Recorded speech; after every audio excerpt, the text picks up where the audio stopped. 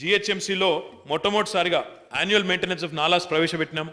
Desilting annual మొత్తం సంవత్సరం పొడుగుతా. జాఫర్ హుసేన్ గారు మాట్లాడుతూ కేవలం రెండు సార్లు చేయాలన్నారు. రెండు సార్లు కాదండి మొత్తం యాన్యువల్ మెయింటెనెన్స్కి ఇచ్చి ఉన్నాం.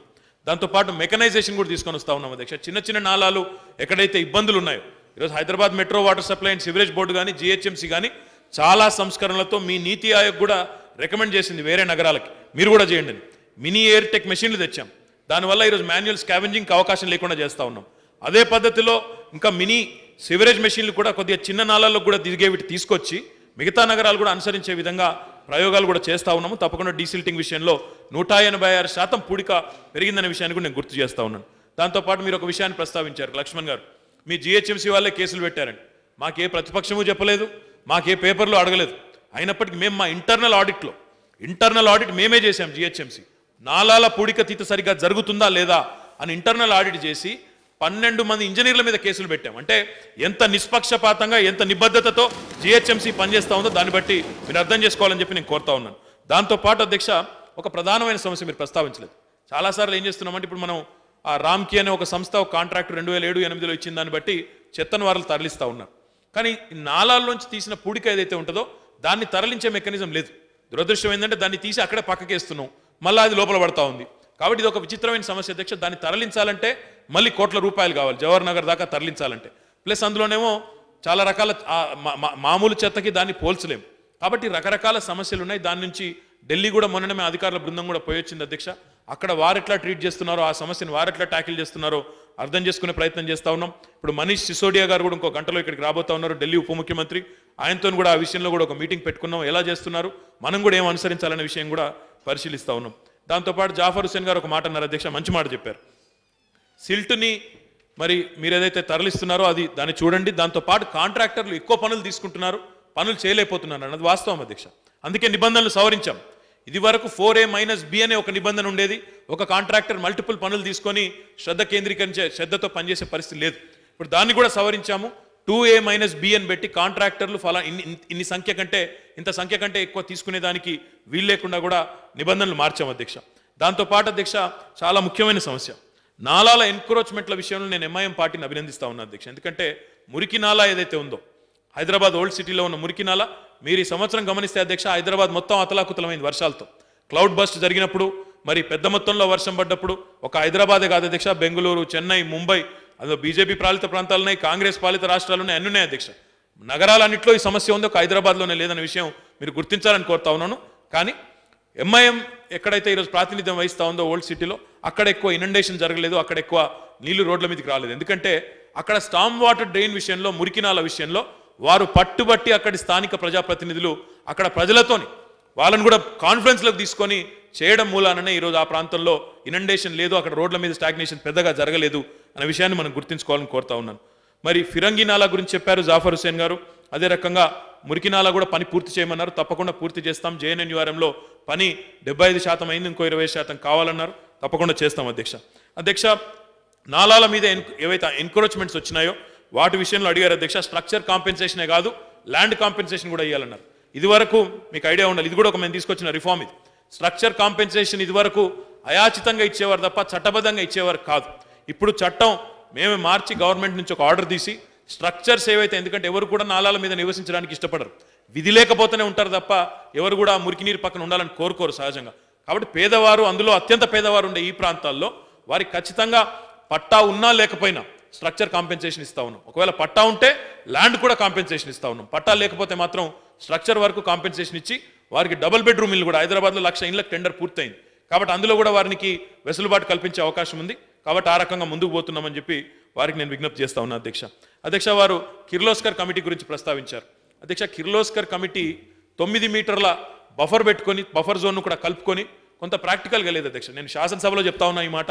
ఆ పని చేయాలంటే కిర్లోస్కర్ కమిటీ ఇచ్చినది యథాతథంగా అమలు చేయాలంటే హైదరాబాద్లో ఇరవై ఎనిమిది వేల స్ట్రక్చర్స్ కూల్చాలి అధ్యక్ష. అది నాకు తెలిసి ఎవరి వల్ల కూడా కాదు. ఎందుకంటే యథాతథంగా అది అమలు చేయాలంటే పన్నెండు వేల కోట్ల రూపాయలు కావాలి. ఇరవై ఎనిమిది వేల స్ట్రక్చర్స్ అది ప్రాక్టికల్ కాదు అధ్యక్ష. తొమ్మిది మీటర్ల బఫర్ జోన్తో హైదరాబాద్లో నాలాలు ఇంత పెద్ద కాంక్రీట్ జంగల్లో మరి అమలు చేసే అవకాశం ఉందా? మీరే దయచేసి ఆలోచించాలని చెప్పి కూడా నేను సిన్సియర్గా కోరుతా ఉన్నాను. ఎక్కడెక్కడైతే బాటిల్ నెక్స్ ఉన్నాయో వాటిని నిబద్ధతతో ఇప్పటికే ఒక వెయ్యిని టార్గెట్ చేశాం వెయ్యి స్ట్రక్చర్స్ని వాటిలో ఇప్పటికే ఒక మూడు నాలుగు వందలు పడగొట్టాము. మిగతాది కూడా తప్పకుండా రెండు వందల ముప్పై కోట్ల రూపాయలు మంజూరు చేశాము. మిగతాది కూడా తప్పకుండా ఆ బాటిల్ నెక్స్ నిలి తీసేసి తప్పకుండా వచ్చే మాన్సూన్ కల్లా ఆ పరిస్థితి లేకుండా చేస్తామని చెప్పి నేను తెలియజేస్తా ఉన్నాను అధ్యక్ష. కిషన్ రెడ్డి గారు మాట్లాడుతూ నాలాస్ డీసిల్టింగ్ వివరాలు ఇమ్మన్నారు. నేను ఇప్పుడే ఇచ్చాను. అధ్యక్ష గతం కంటే నూట ఎనభై ఆరు పర్సెంట్ ఈ సంవత్సరం ఎక్కువైంది. కావాలంటే వారికి లిఖితపూర్వకంగా ఇవ్వడానికి కూడా నాకు అభ్యంతరం లేదు అధ్యక్ష. అధ్యక్ష మెట్రో మీడియన్ గురించి వారు ప్రస్తావించారు. మెట్రోలో మధ్యన కింద అడ్డంగా కడుతున్నారు గోడ మాదిరి కడుతున్నారు. మీరు దానివల్ల నీళ్ళు అక్కడికి ఇక్కడికి పోయేదానికి ఆస్కారం లేదన్నారు. అధ్యక్ష ఈరోజు హైదరాబాద్లో తొమ్మిది వేల కిలోమీటర్ల రహదారి ఉంటే రోడ్డు ఉంటే పన్నెండు వందల ఇరవై ఒక్క కిలోమీటర్ల స్టామ్ వాటర్ డ్రైన్ మాత్రమే ఉంది. కిషన్ రెడ్డి గారు చెప్పింది వాస్తవం. ఈ మధ్యన కొంత సమస్య కూడా వచ్చింది.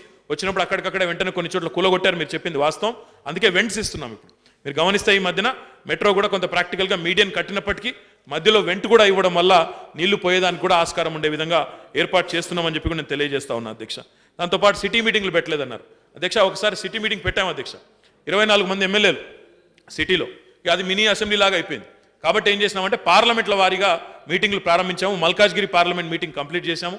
తప్పకుండా Hyderabad parliament Secunderabad parliament Chevella parliament కూడా తొందరలోనే పూర్తి చేస్తాం అధ్యక్ష. ఎందుకంటే ఇరవై నాలుగు శాసనసభ్యులు నలుగురు ఎంపీలు అంటే అది మినీ అసెంబ్లీ మాదిరిగా జరుగుతూ ఉంది. అది దానిలో కూడా స్పష్టత రావడం లేదు. ఎవరికి మాట్లాడే అవకాశం కానీ సమస్యలు చెప్పే అవకాశం కానీ రావడం లేదన్న ఉద్దేశంతో పార్లమెంట్ల వారీగా మీటింగ్లు పెడతా ఉన్నాం. సికింద్రాబాద్ పార్లమెంట్ ఎక్కడైతే వారు ప్రాతినిధ్యం వహిస్తున్నారో త్వరలోనే ఏర్పాటు చేస్తానని చెప్పి కూడా నేను తెలియజేస్తా ఉన్నా అధ్యక్ష.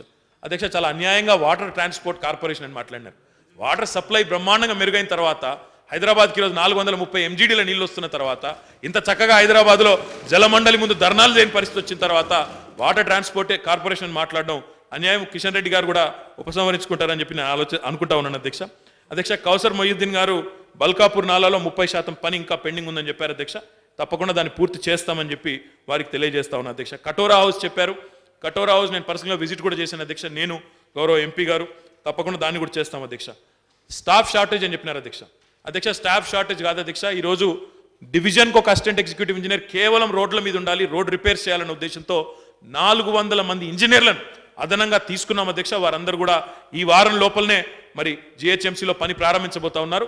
నాలుగు వందల మంది ఇంజనీర్లను తీసుకున్నాం ఎక్కడా కూడా షార్టేజ్ లేదు అని చెప్పి నేను మళ్ళొకసారి సభకు తమ ద్వారా తెలియజేస్తా ఉన్నా అధ్యక్ష.